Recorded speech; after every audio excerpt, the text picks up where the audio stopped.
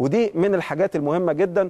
معنا على الهاتف أستاذنا الكبير أستاذ جمال الزهيري المشرف العام على القسم الرياضي بجريدة أخبار اليوم. مساء الخير يا فندم وكل سنة وحضرتك طيب.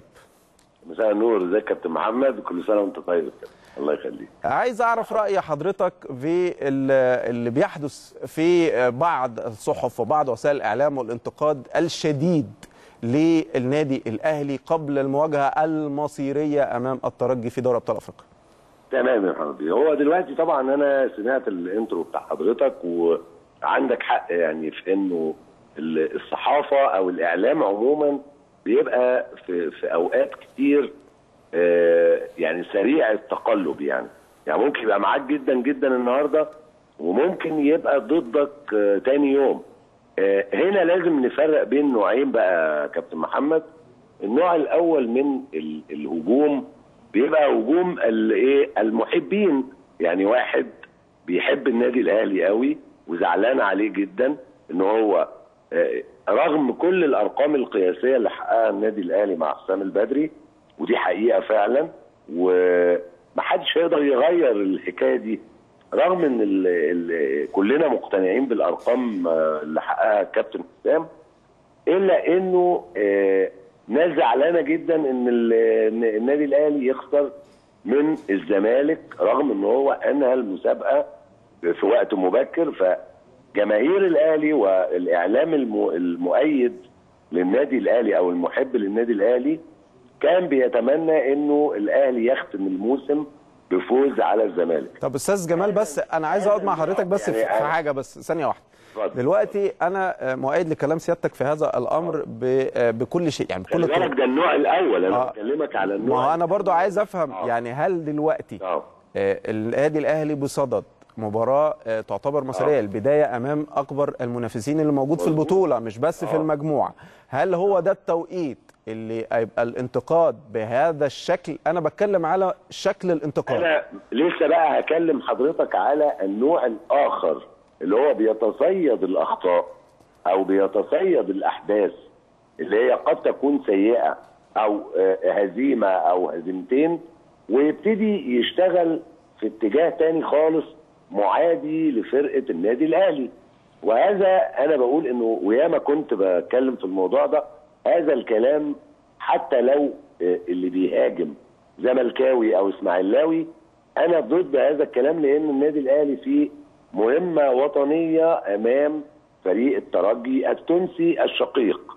يعني الأهلي النهارده محتاج المساندة والمؤازرة من جميع الإعلاميين بصرف النظر عن انتماءاتهم لكن المشكلة إن الانتماءات أحيانا بقت توصلنا لمرحلة دلوقتي يا كابتن فاروق بتوصلنا لمرحلة إن إحنا بنتمنى الشر والهزيمة للفريق الآخر. يعني اذا يا أستاذ جمال أنا دلوقتي ب... وأنا كصحفي وكلمة آه، ب... ب... بت... بتؤدي إلى التوجه آه، آه، الآن أصبح آه. تقييمي بناء على الحب والكره.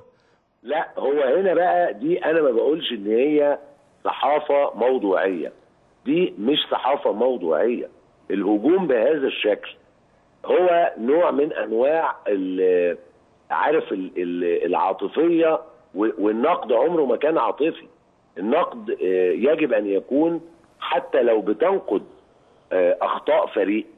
فأنت بتنقد هذه الأخطاء وبتقول الأخطاء واحد اتنين تلاتة أربعة.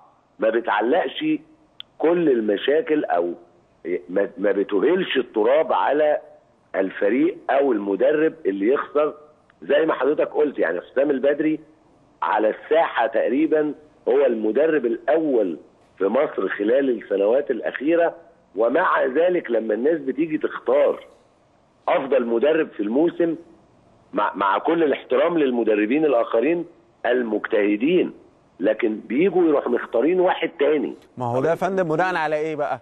يعني هل هو بيتفرجوا على آه، مسابقات أخرى غير اللي إحنا بنتفرج عليها؟ لا. ولا هل الآخرين بيحققوا نتائج نتائج إحنا ما بنشوفهاش أو يمكن إحنا ما بندراش عنها؟ أنا أنا لو جيت أختار أفضل مدرب هقول إنه أفضل مدرب هو الفريق ال- هو مدرب الفريق البطل. بطل رقم الدوري. واحد. آه رقم واحد. نعم. رقم اتنين ممكن أقول المدرب فلان اللي هو قدر ي- يعني يحقق إنجازات كويسة مع فرقته رغم قلة الإمكانيات رغم الظروف اللي بيمر بيها هذا الفريق.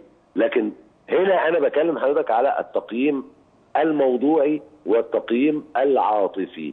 التقييم الموضوعي اللي هو بيعتمد على أرقام وإنجازات ونتائج هو ده اللي إحنا لازم نقوله.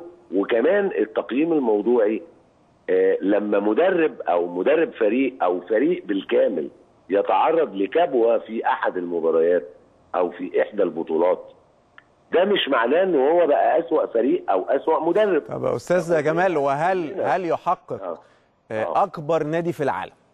الدوري والكأس كل سنة؟ لا مش بالضرورة طبعا. هو اذا إذا كان الموضوع كده إذا كان أي فريق في العالم هياخد كل البطولات طب ما نديها له من الأول ونقعد بقى وخلاص. لا هو الوضع ما أنا بكلم حضرتك على إيه؟ إنه هناك أخطاء. نعم هناك بعض الأخطاء في مباراتي الزمالك ومباراة الأسيوطي أيضا. ولكن هل ده يعني إن إحنا نرفع ال- الأسلحة والسكاكين عشان نحطم مدرب زي حسام البدري؟ آه، حقق مش ب... إحنا مش بنقول هنا بقى عشان حسام طيب ولا ابن حلال ولا الكلام ده بس. إحنا بنقول عشان حسام البدري بالأرقام عشان شغله. أفضل أيوه هو أفضل المدربين المصريين على الساحة وهو اللي قدر برضه على فكرة يكون فرقة النادي الأهلي ويدي بصمته على هذا الفريق ويحصل التجانس اللي هو يقود الفريق لتحقيق البطولات.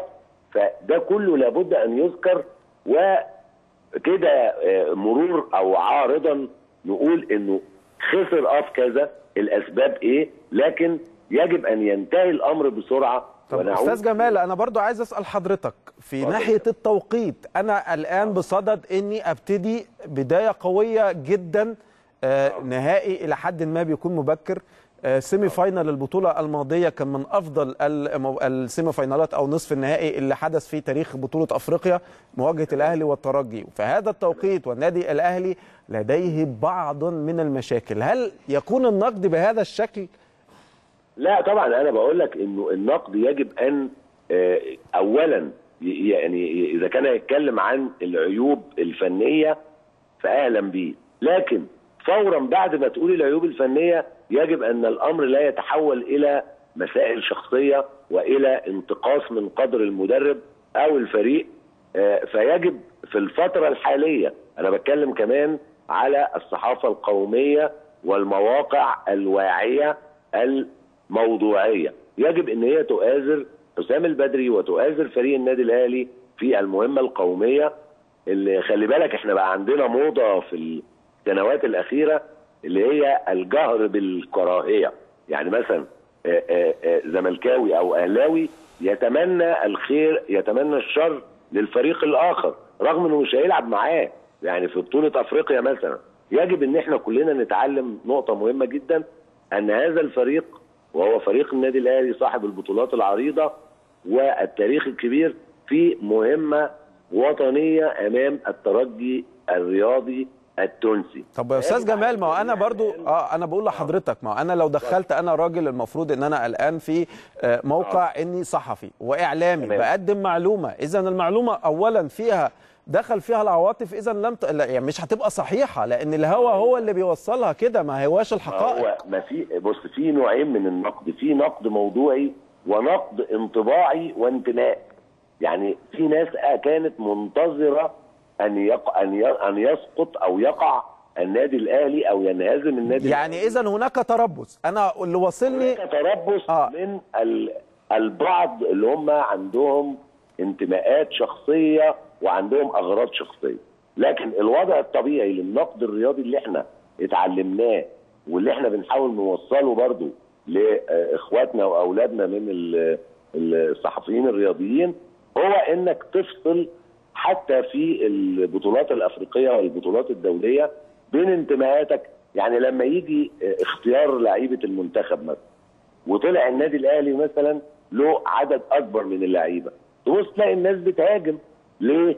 كل واحد حسب انتمائه. ممكن يجيب أمثلة قد لا تكون منطقية ولا واقعية ولا موضوعية ويقول لا ده الناس دول طب أستاذ جمال إحنا ليه صراع في النقد؟ ليه عندنا دايما رد فعل سريع وبيبقى عنيف وبيبقى فيه تشدد إلى حد كبير؟ يعني مثلا لا يحدث يا أستاذ محمد لا يحدث هذا ال- التسرع غير من الناس اللي يا إما ما عندوش الخبرة الكفاية يا إما يعني يا أستاذ جمال يعني مع احترامي أنا ما رضيتش أنا ما أذكر. أعرفش أنت بتتكلم على مين. لا أنا أنا على فكرة ده كذا آه، جريدة وجريدة ما شاء الله يعني لها رواج في داخل جمهورية مصر العربية وفي البعض في خارجها.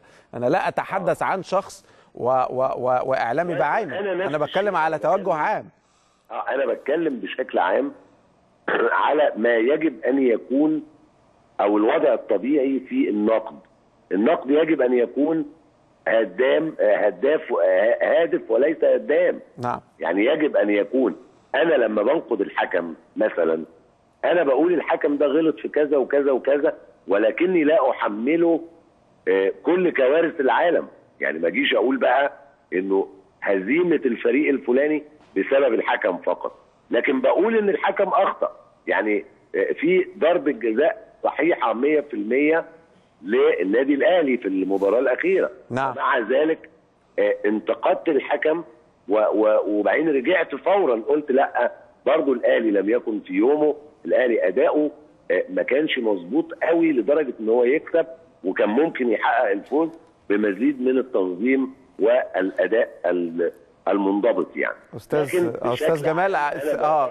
آه نعم اتفضل يا فندم. زملائنا كلهم في مثل هذه الم- المناسبات الوطنية انهم يبقوا ورا فرقة النادي الأهلي. في هذا الامر أستاذ جمال الزهيري المشرف العام بالقسم الرياضي لجريدة الأخبار بشكر حضرتك. شكرا جزيلا. إحنا معانا مداخلة تانية يا شباب؟ أستاذ هيثم الراشدي الإعلامي بقناة حنا بعلة التونسية. مساء الخير يا فندم.